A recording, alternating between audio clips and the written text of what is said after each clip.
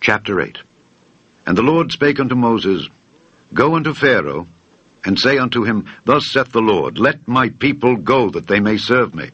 And if thou refuse to let them go, behold, I will smite all thy borders with frogs, and the river shall bring forth frogs abundantly, which shall go up and come into thine house, and into thy bedchamber, and upon thy bed, and into the house of thy servants, and upon thy people, and into thine ovens, and into thy kneading troughs.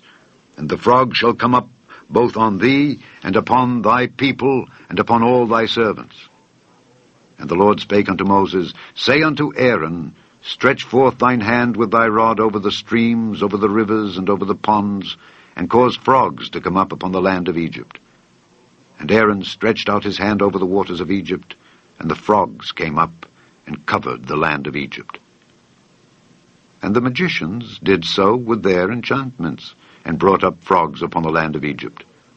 Then Pharaoh called for Moses and Aaron, and said, Entreat the Lord that he may take away the frogs from me and from my people, and I will let the people go, that they may do sacrifice unto the Lord.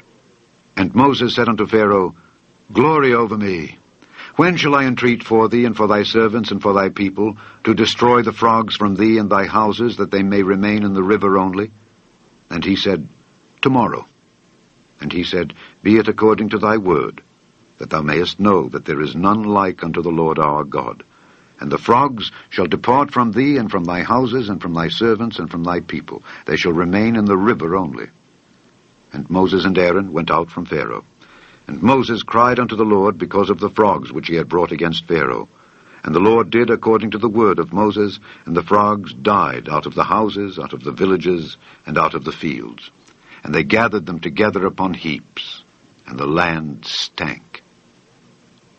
But when Pharaoh saw that there was respite, he hardened his heart, and hearkened not unto them, as the Lord had said.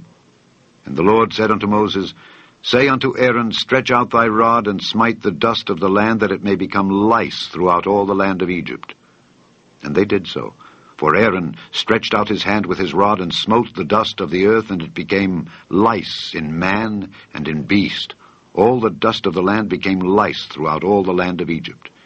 And the magicians did so with their enchantments to bring forth lice, but they could not. So there were lice upon man and upon beast. Then the magicians said unto Pharaoh, This is the finger of God. And Pharaoh's heart was hardened, and he hearkened not unto them, as the Lord had said. And the Lord said unto Moses, Rise up early in the morning, and stand before Pharaoh. Lo, he cometh forth to the water. And say unto him, Thus saith the Lord, Let my people go, that they may serve me. Else, if thou wilt not let my people go, behold, I will send swarms of flies upon thee, and upon thy servants, and upon thy people, and into thy houses. And the houses of the Egyptians shall be full of swarms of flies, and also the ground whereon they are. And I will sever in that day the land of Goshen, in which my people dwell, that no swarms of flies shall be there, to the end thou mayest know that I am the Lord in the midst of the earth. And I will put a division between my people and thy people. Tomorrow shall this sign be. And the Lord did so, there came a grievous swarm of flies into the house of Pharaoh, and into his servants' houses, and into all the land of Egypt. The land was corrupted by reason of the swarm of flies. And Pharaoh called for Moses and for Aaron, and said, Go ye, sacrifice to your God in the land. And Moses said, It is not meet so to do, for we shall sacrifice the abomination of the Egyptians to the Lord our God.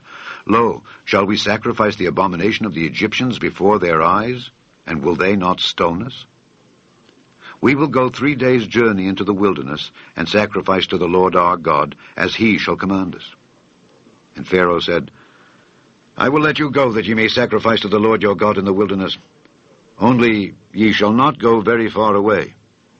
Entreat for me. And Moses said, Behold, I go out from thee, and I will entreat the Lord that the swarms of flies may depart from Pharaoh, from his servants, and from his people tomorrow. But let not Pharaoh deal deceitfully any more in not letting the people go to sacrifice to the Lord. And Moses went out from Pharaoh, and entreated the Lord.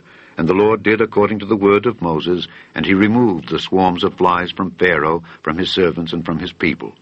there remained not one.